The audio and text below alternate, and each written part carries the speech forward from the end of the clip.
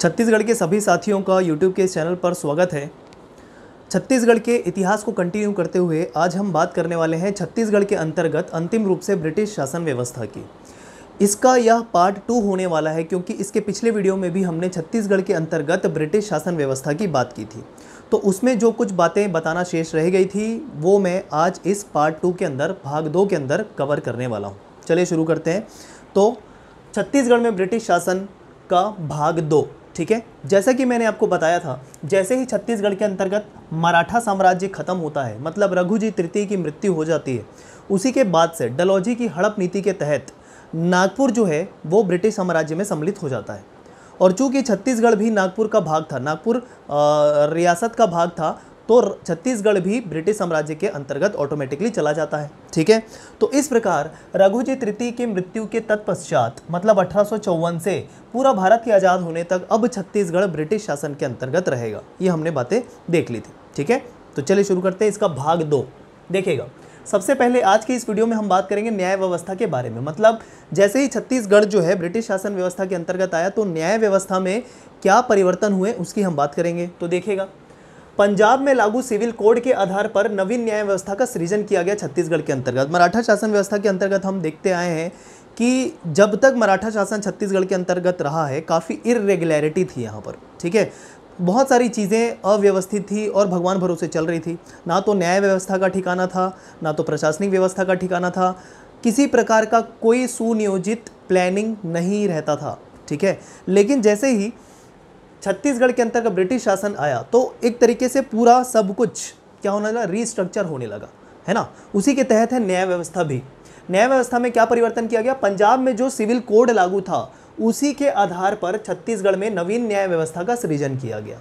ठीक है? और क्या लिखा हुआ है? रायपुर और बिलासपुर में डिप्टी कमिश्नर द्वारा न्यायिक कार्य किया जाने लगा। ठीक है? अब देखिए, न्यायिक कार्य करना है तो उसके लिए अलग से न्यायाधीश की नियुक्ति ना करके ठीक जिला स्तर पे या बोलना चाहिए स्थानीय स्तर पे ही अधिकारियों को यह न्यायिक कार्य दिया गया, ठीक है? तो उसी के तहत क्या किया गया कि जो डिप्टी कमिश्नर होंगे वही न्यायिक कार्य देखेंगे, संभालेंगे, ऐसा डिसाइड किया गया, ठीक है? इसके लिए रायपुर और बिलासपुर के लिए बेसिकली ठीक है? और इस प्रकार जो डिप्टी कमिश्नर होंगे, वो दीवानी और फौजदारी दोनों मामलों का निरीक्षण करेंगे, ध्यान रखिएगा। ठीक है? अब सवाल ये पैदा होता है कि दीवानी और फौजदारी मामले किसे कहते हैं? ठीक है? तो बेसिक अंतर है, समझिएगा, जो भी मामले, जो भी मामले संपत्ति से रिलेटेड होते हैं या पद के अधिकार से रिलेटेड होते हैं, धार्मिक मामलों से रिलेटेड होते हैं, वो सारे के सारे दीवानी मामले के अंतर्गत आते हैं। ठीक है? जैसे कोई संपत्ति विवाद हो गया किसी पक्षों के मध्य, किन्हीं पक्षों के मध्य तो उसका जो निपटारा होगा वो दीवानी मामलों के अंतर्गत देखा जाएगा। क्लियर है? फौजदारी मामलों के अंतर्गत कौन से मामले आएँगे? तो जितने भी आपराधिक मामले होते हैं, ठीक है, जिनको भारतीय दंड संहिता या अन्य कानून में दंड घोषित किया गया है, जिसके लिए दंड का प्रावधान है, जिसे क्रिमिनल केसेस भी कहते हैं, वो फौजदारी मामलों के अंतर्गत आता है। क्लियर है? तो ये आपको पहला पॉइंट ध्यान रखना है, ये महत्वपूर्ण है यहाँ पर से। क्या? कि पंजाब में लागू सिविल कोड के आधार पर छत्तीसगढ़ में नवीन न्याय व्यवस्था का सृजन किया गया। ये महत्वपूर्ण है, ठीक है? और उसके लिए देख रेख का या न्यायिक कार्य का अधिकार किसे दिया गया? जिला प्रमुख को, और जिला प्रमुख होते थे डिप्टी कमिश्नर। जैसा कि हमने देखा था, प्रशासनिक सुधार में देखा था, है कि नहीं? प्रशासनिक परिवर्तन में हमने देखा था। अगला पॉइंट देखिएगा। दीवानी मामलों का संभागी प्रमुख अधिकारी जिला या सत्र न्यायाधीश होता था, ठीक है? अब देखिए, एक जिला स्तर हो गया, एक संभागीय स्तर हो गया। जिला स्तर की बात की है तो हम बात किए डिप्टी कमिश्नर की। लेकिन पूरे संभागीय स्तर पे अगर हम बात करें तो पूरे संभाग के लिए सबसे प्रमुख अधिकारी न्याय कार्य के लिए होता था कौन? जिला या सत्र न्यायाधीश। ठीक है? और ये जो जिला और सत्र न्यायाधीश है, मूल और अपीलीय मामले देखता था। ठीक है? मूल और अपीलीय दोनों मामले देखता था। फिर से एक सवाल यह है कि ये मूल और अपीलीय मामले किसे कहते हैं? तो किसी भी मामले में, सुनिएगा, पहले मैं बता रहा हूँ आपको मूल मामले किसे कहते हैं। मूल और अपीली दोनों मामले, कौन? संभागीय स्तर के प्रमुख अधिकारी जिसे जिला सत्र न्यायाधीश कह रहे हैं। ठीक है तो देखिए, मूल मामले उस मामलों को कहते हैं जिसमें किसी भी विवाद में पहली बार किसी न्यायालय को न्याय, सुनवाई का अधिकार होता है। ठीक है? किसी भी विवाद में पहली बार जो सुनवाई का अधिकार होता है न्यायालय का, उसे मूल अधिकार कहा जाता है न्यायालय का। ठीक है, कोई भी विवाद उत्पन्न हुआ, ठीक है तो जो सुनवाई होगी, पहली बार, प्रथम बार, उसे ही मूल अधिकार, न्यायिक अधिकार कह रहे हैं। अपीलीय अधिकार किसे कहेंगे? तो देखिए, सपोज़ किसी सत्र न्यायालय या अधीनस्थ न्यायालय ने किसी सुनवाई में अपना निर्णय दे दिया। अब उस निर्णय के विरुद्ध आपको ऊपर की अथॉरिटी में मतलब उच्च न्यायालय में जाना है। तो अब अपील करेंगे आप पहली बार जो सुनवाई हुई, उसके विरुद्ध आप अपील करेंगे तो उसे अपीली अधिकार कहा जाता है। बात समझ में आई? तो जो आपके जिला सत्र न्यायाधीश होते थे, उसके पास दोनों अधिकार थे, मूल अधिकार भी मतलब प्रथम बार सुनवाई करने का अधिकार भी होगा उनको, और फिर अगर कुछ निर्णय आ गया तो फिर से उस निर्णय के विरुद्ध अपील करने का, फिर से अपील करने का कि ये जो निर्णय है, उस पर आप फिर से कुछ डिसीज़न दीजिए, ठीक है? अपने निर्णय दीजिए, वो अपीली होता है। क्लियर है दोनों में अंतर? मूल और अपीली मामले में अंतर क्लियर है सभी को, ठीक है?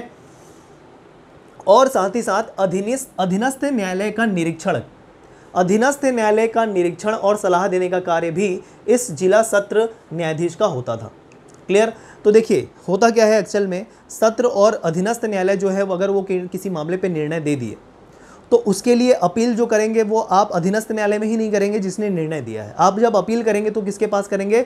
उसके ऊपर आने वाले न्यायालय पे मतलब उच्च न्यायालय पे करेंगे आप। बात समझ में आई? तो ये होता है। लेकिन इस समय एक ही व्यक्ति में दोनों अधिकार समाहित थे, मूल और अपीली दोनों। एक चीज़ समझिएगा, ठीक है? कॉन्सेप्ट यहाँ से निकल के आ रहा है। इतनी बातें क्लियर है? अगला पॉइंट देखिए, फौजदारी न्याय, ठीक है? फौजदारी न्याय का जो आपका अधिकार है वो किसके पास है, देखिएगा। तहसीलदार और डिप्टी कमिश्नर के पास भी फौजदारी न्याय का अधिकार था, लेकिन एक निर्धारित सीमा के अंतर्गत, ठीक? तहसीलदार फौजदारी न्याय के मामले में निरीक्षण करते थे ठीक है, जाँच करते थे। और इस प्रकार जिला स्तर पर, जिला स्तर पर डिप्टी कमिश्नर को भी अधिकार था फौजदारी न्याय के संबंध में, लेकिन सीमा निर्धारित कर दी गई थी दोनों की। ठीक है, अधिकार स्पष्ट कर दे गए थे कि अगर फौजदारी न्याय आप देखेंगे तो आपकी सीमा क्या होगी, कौन से मामलों को आपको देखना है। मतलब ऐसा नहीं होगा कि अगर मृत्यु दंड देना है तो वो तहसीलदार या डिप्टी कमिश्नर दे देगा, ऐसा नहीं था। दंड देना है ना फौजदारी में। तो अगर किसी को मृत्यु दंड देना है तो उसका अधिकार डिप्टी कमिश्नर और तहसीलदार के पास नहीं होता था।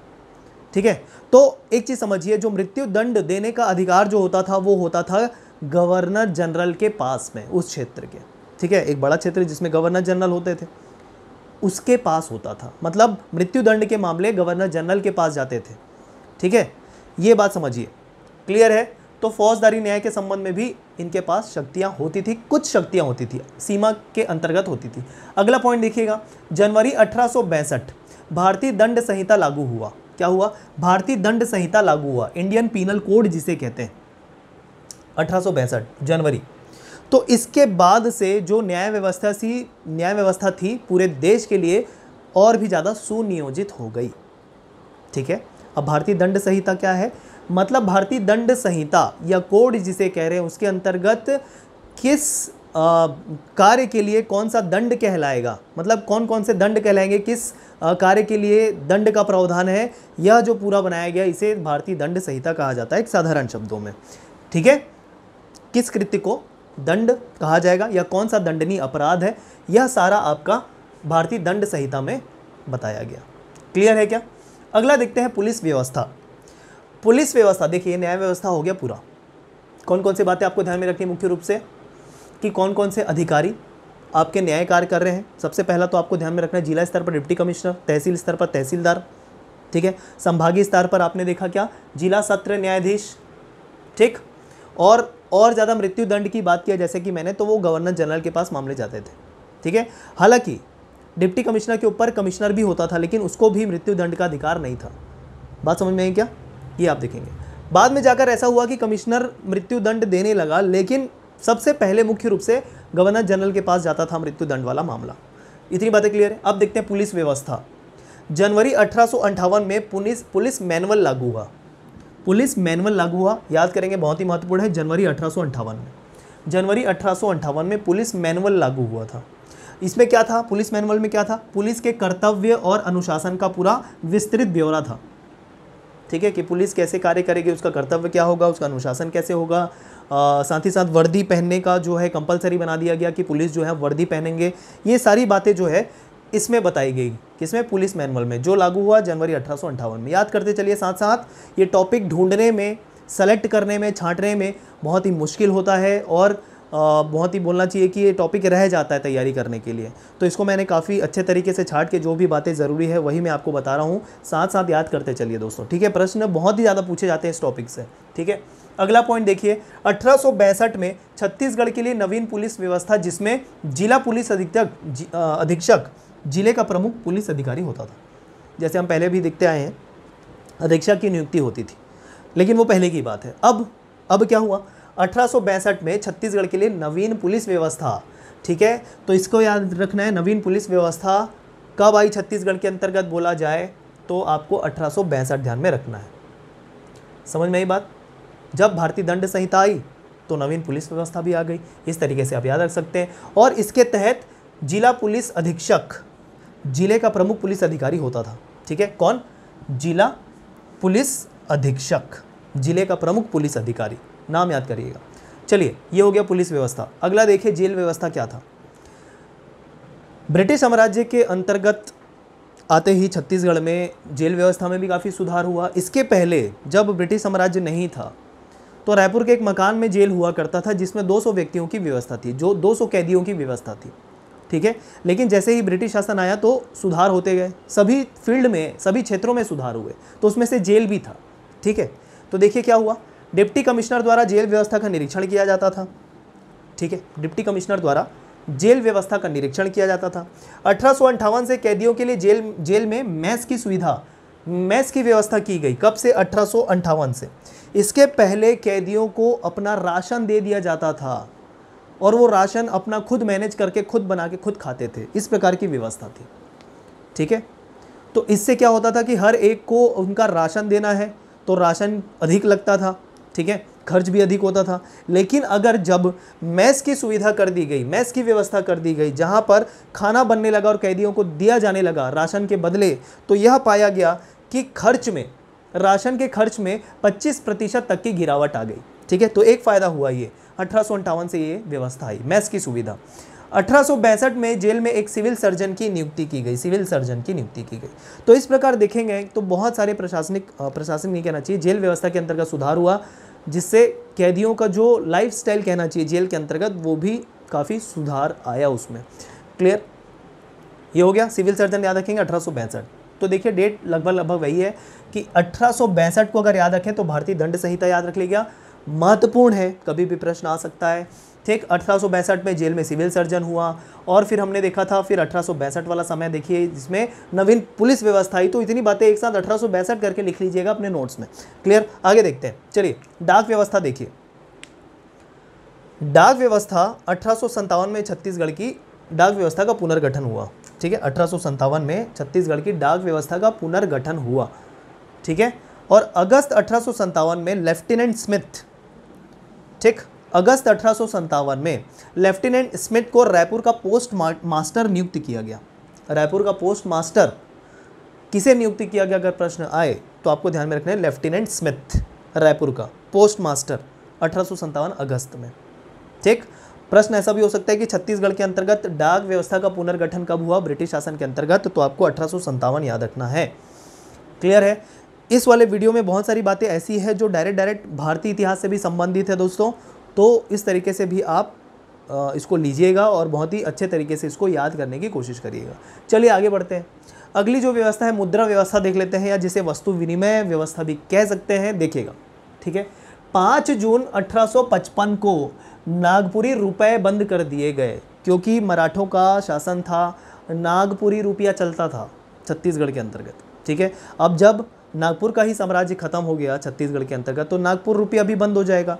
तो कब बंद हुआ? तो डेट याद रखना है, पाँच जून 1855 को नागपुरी रुपया बंद हो गया, ठीक? और एक मई 1855 को कंपनी का नया सिक्का जारी किया गया, ठीक? महत्वपूर्ण है दोनों डेट। वैसे ये ज़्यादा महत्वपूर्ण है, क्या एक मई 1855 को कंपनी द्वारा नया सिक्का जारी किया गया? क्लियर है, ये है मुद्रा। आगे देखिए, यातायात में क्या सुधार हुए तो बहुत ही महत्वपूर्ण है, यातायात जो परिवर्तन हुआ है छत्तीसगढ़ के अंतर्गत, यातायात व्यवस्था। तो देखिए, रायपुर नागपुर सड़क कार्य योजना एगेन्यू की देखरेख में संपन्न हुई। जो रायपुर से नागपुर सड़क मार्ग की जो योजना थी ना, वो किसके समय हुई? एगेन्यू के समय, ध्यान रखिएगा, ठीक है? एगेन्यू आगे देखें। सड़क निर्माण हेतु ब्लैक और फिट्रोस की नियुक्ति की गई, ठीक है? ये दो बोलना चाहिए, एक वर्कर थे। वर्कर नहीं कहना चाहिए, बोलना चाहिए कि अंग्रेज़ों के तरफ़ से थे। क्या? ब्लैक और फिट्रोस उनकी नियुक्ति की गई। किसके लिए? सड़क निर्माण के कार्य हेतु, ठीक है? और अठारह सौ चौवन में लोक कार्य विभाग का गठन हुआ। लोक कार्य विभाग का जो कार्य होता था, वो सड़क का निर्माण अच्छे से हो रहा है कि नहीं, उसकी देखरेख अच्छी सी हो रही है कि नहीं, यह सारी बातें देखता था। कौन? लोक कल्याण विभाग। माफ़ कीजिए, लोक कार्य विभाग, ठीक है? लोक कार्य विभाग, अठारह सौ चौवन में महत्वपूर्ण प्रश्न है महत्वपूर्ण प्रश्न है। क्लियर? आगे बढ़े। अठारह में ग्रेट ईस्टर्न रोड, जिसे हम जी रोड भी कहते हैं इसका निर्माण पूर्ण हुआ दोस्तों, बहुत ही महत्वपूर्ण। जी रोड बहुत बार आपने नाम सुना होगा G E road full form है ग्रेट ईस्टर्न रोड अठारह में निर्माण कार्य पूरा हुआ और उस समय कार्यकाल चल रहा था कर्जन का लॉर्ड करजन का, ठीक है? लॉर्ड कर्जन का कार्यकाल चल रहा था जब ये अठारह का ग्रेट ईस्टर्न रोड बनकर तैयार हुआ, ठीक है? अगला पॉइंट देखिए, छत्तीसगढ़ में रेल लाइन का निर्माण कार्य किया गया, ठीक? कब? 19वीं शताब्दी के अंत में। जो रेल लाइन का निर्माण कार्य शुरू हुआ ना, छत्तीसगढ़ के अंतर्गत, वो कब हुआ? 19वीं शताब्दी के अंत में शुरू हुआ। ठीक? 19वीं शताब्दी के अंत में कार्य शुरू हुआ छत्तीसगढ़ में रेल लाइन निर्माण कार्य का। ठीक है? और एक और बात ध्यान में रखेंगे, अठारह सौ सत्तासी में छत्तीसगढ़ को बड़ी लाइन में परिवर्तित कर दिया गया, छोटी लाइन और बड़ी लाइन। ठीक है? मीटर गेज और बड़ा भी बड़ी लाइन जिसे कहते हैं। तो छत्तीसगढ़ में पहली छोटी लाइन चलती थी। जैसे अभी हम कुछ दिन पहले की भी बात करें तो रायपुर से धमतरी छोटी लाइन चलती थी। एक रायपुर से धमतरी, रायपुर से राजिम, छोटी लाइन चलती थी। छोटी गेज की ट्रेन चलती थी, जिसकी चौड़ाई जो रहती है, वो कम रहती है। ठीक है? और जैसे हम नॉर्मल ट्रेन कहते हैं, उसे हम क्या कहते हैं? बड़ी लाइन कहते हैं। ठीक है? तो अठारह सौ सत्तासी में छत्तीसगढ़ को बड़ी लाइन में परिवर्तित कर दिया गया, छोटी लाइन के बदले। और इस प्रकार छत्तीसगढ़ की जो जो छत्तीसगढ़ रेल था रेल प्रशासन था, वो किसके अंतर्गत आ गया? नागपुर बंगाल रेलवे के अंतर्गत आ गया। अठारह सौ सत्तासी में बड़ी लाइन में परिवर्तन हुआ और उसी समय से Chhattisgarh railway Chhattisgarh railway Nagpur Bengal railway के अंतर्गत आ गया। इसको भी आप अतिरिक्त नोट कर लेना, अठारह सौ सत्तासी में ही हुआ ये। क्लियर आगे देखें, सन 1900 तक, सन 1900 तक राजनांदगांव दुर्ग, रायपुर और बिलासपुर मुंबई कोलकाता रेलवे लाइन से जुड़ गए। ठीक है? बहुत ही महत्वपूर्ण ये जो रेलवे लाइन है, पता है आपको? मुंबई से हावड़ा, ठीक है? जिसमें कौन कौन सा शहर पड़ता है? छत्तीसगढ़ का राजनांदगांव, दुर्ग, रायपुर और बिलासपुर, ठीक है? तो ये काम कब हुआ? सन 1900 तक ये काम हो गया पूरा, ठीक है? और साथ ही साथ बिलासपुर रेल मंडल का गठन किया गया। बिलासपुर रेल मंडल का मंडल का गठन किया गया सन 1900 में ही ठीक। प्रदेश में सर्वप्रथम रेल संचालन कब हुआ, ये भी डेट आप याद रख लीजिए 27 नवंबर अठारह सौ अट्ठासी को। प्रदेश में सर्वप्रथम रेल संचालन, रेल का संचालन हुआ कब 27 नवंबर अठारह अट्ठासी में। अब आप बोलेंगे कि अठारह सौ सत्तासी में बड़ी लाइन में परिवर्तित किया गया, इसके पहले छोटी लाइन चलती थी तो छोटी लाइन को हम पूरे देश स्तर पर हम नहीं इसको कंसिडर कर रहे हैं। तो मुख्य रूप से जो रेल का संचालन हुआ वो 27 नवंबर अठारह सौ अट्ठासी को हुआ। बड़ी लाइन में परिवर्तित होने के बाद हुआ। ये हम मान रहे हैं। अब इतना क्यों परिवर्तन किया? अंग्रेज़ क्यों ऐसा कर रहे थे कि भैया पूरा व्यवस्था सुधार रहे थे तो इसमें अंग्रेज़ों का हित था। वो भारत का हित नहीं देख रहे थे, वो अपना हित देख रहे थे। मतलब एक जगह से दूसरे जगह ट्रांसपोर्ट करने के लिए, व्यापार करने के लिए, सामान का आदान प्रदान करने के लिए यातायात का सुगम होना बहुत ही आवश्यक है। और यातायात सुगम होगा तभी एक स्थान से दूसरे स्थान तक इंपोर्ट एक्सपोर्ट किया जा सकता है, अन्यथा नहीं। ठीक है? तो इसमें अंग्रेज़ों का ही हित था, ना कि वो भारत भारत का अच्छा सोच रहे थे। ठीक है? तो इस कन्फ्यूज़न में नहीं रहना। इस गलत फहमी मत रहना कि अंग्रेज़ों ने बहुत सारी चीज़ें अच्छी की। अच्छी तो की ठीक है, लेकिन उसके पीछे उनका ही हित था। भारत का हित नहीं था। भारत का हित मतलब वो भारत का हित सोच के नहीं कर रहे थे, अपना हित सोच के कर रहे थे। क्लियर है? अगला देखें। वन वन में क्या हुआ? पृथक वन विभाग का गठन किया गया।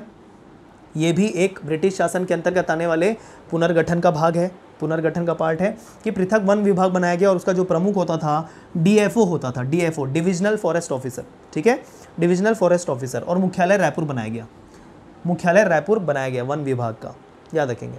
अठारह सौ चौरानवे में एल्गिन द्वितीय, लॉर्ड एल्गिन द्वितीय के काल में प्रथम भारतीय वन नीति लाई गई। महत्वपूर्ण प्रश्न, भारत के इतिहास के संबंध में हो सकता है ठीक है? अठारह सौ चौरानवे। याद रखिएगा, महत्वपूर्ण प्रश्न है। एल्गिन द्वितीय के काल में प्रथम भारतीय वन नीति लाई गई। महत्वपूर्ण प्रश्न है दोस्तों, नोट करिएगा। चलिए, आखिरी पॉइंट देख लेते हैं स्थानीय संस्थाएँ। स्थानीय संस्थाएँ या स्थानीय संस्थाओं का जनक, स्थानीय शासन का जनक के तौर पे रिपन को कहा जाता है। रिपन, लॉर्ड रिपन, ठीक है? 1880 से चौरासी तक इनका काल था। ठीक, और इन्हीं के द्वारा स्थानीय स्वशासन या स्थानीय व्यवस्था का आरंभ किया गया ऐसा माना जाता है। ठीक है? इन्होंने ही पहले बताया कि स्थानीय स्वशासन होना चाहिए। मतलब अगर कोई क्षेत्र जो जिलों में नहीं है, जो तहसील में नहीं है गाँव वाले क्षेत्र हैं तो उनके लिए शहर में आके, ज़िले में आके, तहसील में आके कोई न्याय पाना या कोई भी कार्य करवाना मुश्किल हो जाता था। तो इन्होंने ही सर्वप्रथम सोचा कि इस तरीके से स्थानीय स्वशासन लाया जाए। जिससे छोटे छोटे क्षेत्रों में या गाँव में रहने वालों के लिए ईजी हो जाए सारी चीज़ें, ठीक है? प्रशासनिक कार्य जो है, न्यायिक कार्य जो है, उनके लिए ईजी हो जाए। तो सर्वप्रथम रिपन। आप जब नगरीय निकाय या पंचायतें पढ़ते हैं तो उसमें भी आपको रिपन का नाम देखने को सर्वप्रथम मिलेगा, ठीक है? तो याद रखेंगे, रिपन द्वारा ही स्थानीय स्वशासन का आरंभ किया गया, ठीक? छत्तीसगढ़ में क्या हुआ? देखिए अठारह सौ पचासी में, अठारह सौ पचासी में जिला स्तर पर जिला परिषद का गठन किया गया और बड़े नगर के लिए नगर पालिका का गठन किया गया, ठीक है? जिला स्तर पर जिला परिषद का गठन हुआ है और बड़े नगरों के लिए नगर पालिका का गठन हुआ है। तो दोनों में अंतर क्या है सर? जिला है वो बड़ा नगर नहीं हो सकता क्या? तो ऐसा ज़रूरी नहीं है। जो जिला है वो बड़ा नगर हो ऐसा आवश्यक नहीं है, ठीक है? तो कुछ जिलों में केवल जिला परिषद भी हो सकते थे। और कुछ नगर में जिला परिषद, क्योंकि जिला है और बड़ा नगर होने की वजह से नगर पालिका भी हो सकते थे। जैसे उदाहरण के तौर पर ही बात करें तो रायपुर और बिलासपुर। रायपुर और बिलासपुर उस समय तक जिला तो थे ही, बड़े नगर में भी परिवर्तित हो चुके थे। ठीक है, व्यापारिक दृष्टि से, कहना चाहिए बहुत सारी दृष्टि से। ठीक तो इस प्रकार रायपुर और बिलासपुर में नगर परिषद भी थे। माफ़ कीजिए जिला परिषद भी थे और नगर पालिका भी थे। ठीक तो वही लिखा हुआ है रायपुर बिलासपुर में जिला परिषद और नगर पालिकाओं का गठन हुआ कब? अठारह सौ पचासी के ही तहत। ठीक? उद्योग में देख लीजिए तो सर्वप्रथम छत्तीसगढ़ का उद्योग जो है, वो अठारह सौ चौरानवे में उत्पादन शुरू हुआ, जिसका नाम था शुरू में सीपी मिल्स राजनांदगांव में। ठीक है? जिसका बाद में नाम परिवर्तित होकर बंगाल नागपुर कॉटन मिल हो गया। ठीक है? बहुत बार आपने पढ़ा भी होगा। तो सर्वप्रथम उसका नाम क्या था? सीपी मिल प्रोडक्शन कब स्टार्ट हुआ वहाँ पर? कपड़ों का उत्पादन कब शुरुआत हुआ? अठारह सौ चौरानवे, राजनांदगांव में। बंगाल नागपुर कॉटन मिल नाम हुआ बाद में। शुरू में था सीपी मिल्स छत्तीसगढ़ का सर्वप्रथम उद्योग। तो इतनी बातें बताने रह गई थी ब्रिटिश शासन व्यवस्था के अंतर्गत, जो शुरुआत हुआ था अठारह सौ चौवन से, ठीक है? तो ये हो गया पूरा हमारा समाप्त कि छत्तीसगढ़ में ब्रिटिश शासन अंतिम रूप से आने के बाद क्या क्या प्रशासनिक परिवर्तन हुए क्या क्या न्यायिक परिवर्तन हुए क्या क्या पुलिस परिवर्तन हुए, ठीक है? ये सारी बातें हमने डिटेल में देख ली है। दोनों जो वीडियो हैं बहुत ही महत्वपूर्ण है। देखिएगा दोस्तों। ठीक है? ज़्यादा से ज़्यादा वीडियो को प्लीज़ शेयर कीजिए, सब्सक्राइब कीजिए अगर वीडियो पसंद आ रहे हैं। और वीडियो में जल्द से जल्द अब आपको फिर से निरंतरता मिलने वाली है। मतलब आपको जो भी सब्जेक्ट रुके हुए थे, अब वो फिर से कंटिन्यू मिलना शुरू हो जाएँगे दोस्तों। और जैसा कि C G P S C pre का नोटिफिकेशन फिर से आने वाला है 26 नवंबर को, ऐसा कहा गया देखते हैं। तो फिर से हम सारी चीज़ों को अच्छे से देखेंगे कवर करेंगे पहले और फिर क्विक रिवीजन सीरीज़ चलाए जाने की भी योजना है, जल्द से जल्द। ठीक है? तो बस आपसे आग्रह ये है कि ज़्यादा से ज़्यादा वीडियो को शेयर कीजिएगा लाइक कीजिएगा सब्सक्राइब कीजिएगा। और अगर कोई डाउट है या कोई सुझाव है तो कमेंट भी कीजिएगा दोस्तों, ठीक है? चलिए मिलते हैं फिर, धन्यवाद।